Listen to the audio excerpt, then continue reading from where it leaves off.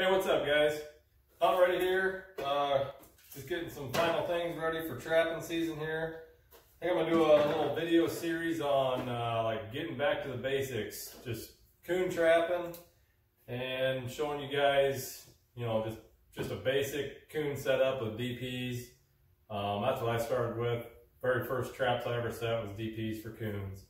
Um, so for the first part of the uh, series, I'm going to show you guys uh, a, a, bait that I use other than cat food. Like I use cat food, just cheap cat food 90% of the time. I'm going to try some different DP baits this year just to see how they work.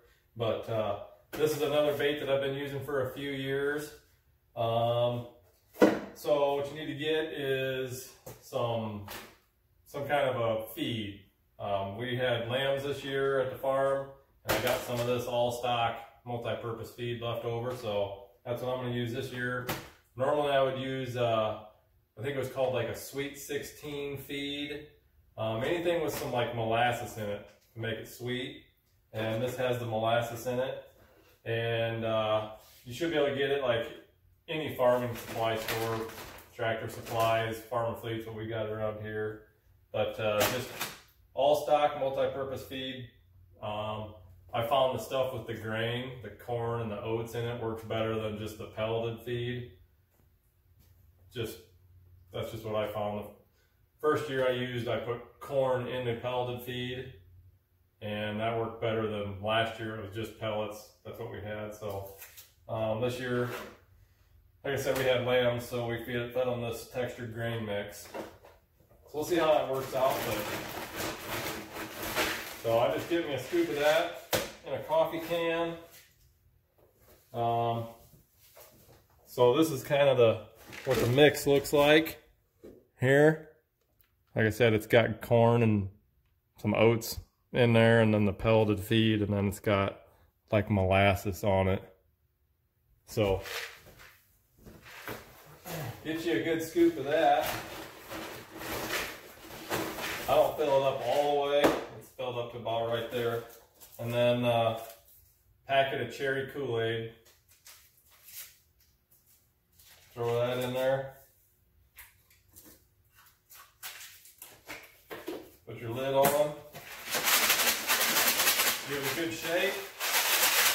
And then your bait's ready to go. Oh man, smells good. But uh, so I like to use this mix when I'm trapping uh, like farmsteads where they got cats, because you will catch cats in DPs when you put cat food in it. You will not catch cats with this feed. Um, for nuisance coons around my place, this is what I use because we got a lot, we got a lot of farm cats running around. Um, yeah, so this stuff works really good, and it holds that cherry flavor because, like I said, it's got that um, like molasses on it, so it's it's not sticky. I don't like using uh, sticky sticky baits in my DPs.